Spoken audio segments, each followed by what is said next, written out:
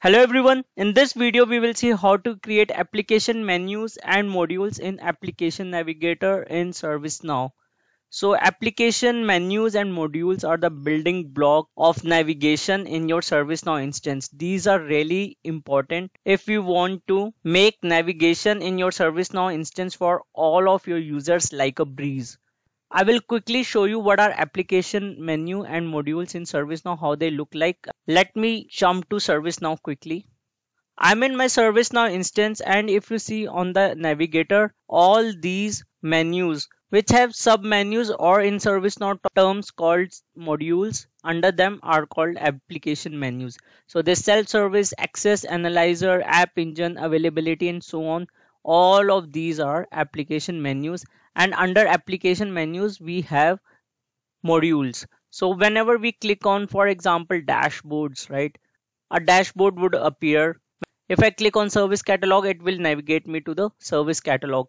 So all these modules are configurable as well as application menus but in modules you can navigate the user to a list to a dashboard to a report to a separator and there are many other things as well so if you want to make life easier of your end user, you need to have proper application menus and modules for them.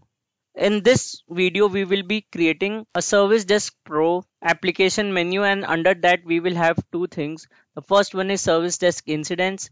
The other one is Service Desk Incidents Report. So we will be creating two modules under this application menu. And if you stay till the end of the video, I have a bonus for you as well. So let's quickly go and create these first of all. I will type application menus. And then when I click on this under system definition I will see the list of all the application menus. So there are 170 out of the box. I will go ahead and create one of my own. And I would name this as service desk pro. So I'm trying to make the life of service desk people easier by creating a menu for them which will have specific modules catered only to these type of users. I will give the roles as ITIL in this example. If your service desk users have some specific roles, you can go ahead and give that role here. So basically this role specifies this application menu would be available to which role. So this application menu service desk pro would be available only to the people who have ITIL role now. After this, if you see categories, so this is the menu style of this application menu which we are creating. By default, it's selected as custom application. So we will keep it as it is. We can give a hint as well if you want maybe service desk tickets and then you can give a description as well. So it's up to you. I will click on submit here and a new application menu would be created. I will just search for that. So I will type service desk here and you would see service desk pro is created now. If I scroll down at the bottom, you would see modules. So if you want to now create modules under this where the users can click and go to some specific report or the list of records, you can do it from here. I will click on new to create a new module and as soon as I click on new you would see here in the application menu service desk pro is automatically populated so this new module would automatically appear under this menu I would give here the name as SD incident. So that's what we are trying to do now. We are trying to create a list of incidents which are assigned to service desk. So I will name this as service desk incidents. I will give the order as 100 and here I can set the visibility as well but I have set the visibility on the application menu level only that this should be available only to ITIL so it doesn't matter if you do it here it will automatically inherit that role here. I will keep this link type as list of records. However you would see there are many other options to select. For example new record run a report and separator and so on. We will look at couple of them later in this video in the table, I would select the list of records from which table I want to display. I will click on this and search for incidents table because that is where all the incidents are saved. After selecting this, I will put a filter here. I will say assignment group is service desk. So all the incidents which are assigned to service desk will appear in this module. Next is arguments. So I can pass the arguments in the URL when somebody clicks on this module. We will see this in the next video where I will pass some arguments in the URL where I would want to make the filter which I have put here as read only. So we can do that as well using arguments. So subscribe to my channel to see that video. After that you can give the window name as well. So window name is nothing but the browser window name which you would not be able to see right now.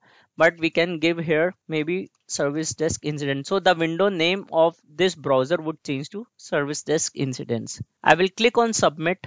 I will refresh this page and i would want to search for that service desk pro menu. And you would see here service desk pro application menu has been created and under that there is a module called SD incidents. If I click on this, you would see it will show me the list of incidents which are assigned to this assignment group called service desk. After this, I would want to create another module for service desk incidents report. So this is the second type of module which we will explore. For this, I will again go back to my application menu and search for service desk pro. And when I click on this, I will scroll down. I will click on new I will give the name as SD incidents report. I will give the order as 200 and here in the link type I would select run a report. So here you would want to select the report which you want to run when somebody clicks on this module. I will search for a report which is out of the box which shows all the incidents which are assigned to that particular users group. So this is the report open incidents by assignment and I will click on submit now this report should appear here on the Service Desk Pro. I will click on Service Desk Incidents Report and this report will run automatically. If you don't know how to create reports in ServiceNow, I have a detailed video for that. Please click on the top right corner to check out that video and the link is in the description as well. So this is the report which is out of the box and we were able to navigate through this menu item now for the bonus part. So there is another type of module which i love. So this is the bonus. We'll go ahead and create that. And before that i would want to show you a shortcut as well. If you hover over this service desk pro you would see this edit button. If you click on this edit you don't have to again go to application menu search for service desk and click on that. So you can do it directly from here and this application menu record will automatically open. One thing to note is if you are creating application menus or modules you should have an admin role.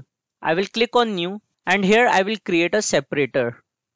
So what does this separator do is it will create a kind of a sub menu under this service desk pro and under that we can have more modules. So I can say service desk separator and I will give the order of 150 which would be between incidents and incidents report and I will select here separator and submit this. I will refresh this page search for service desk again. For some reason ServiceNow has made this title empty. I will try to rename this as to something else maybe service desk mini and I will save this. And as soon as I save this it should start appearing here and you would see it has been separated by service desk mini and the incidents reports are coming under that. So this is a very great module type to separate your application menus further.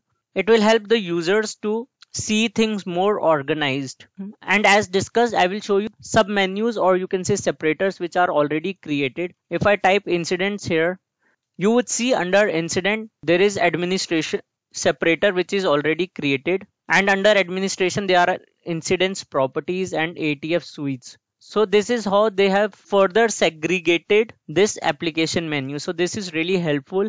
One thing which I want you to note as well is for example if you make this service desk mini only available to admin and not to other users service desk mini would stop appearing for the non-admin users but the module which is under this will be still appearing to other people who are non-admins because you haven't put a role here. So if you want to put a role on incidents reports as well you have to add that role separately I hope this video was helpful to you. You learned something new and the types of modules which I explained helped you up learning about modules more. There are other types as well which you should explore.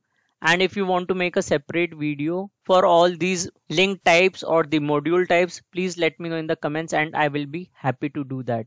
And please subscribe to my channel and don't forget to hit that like button.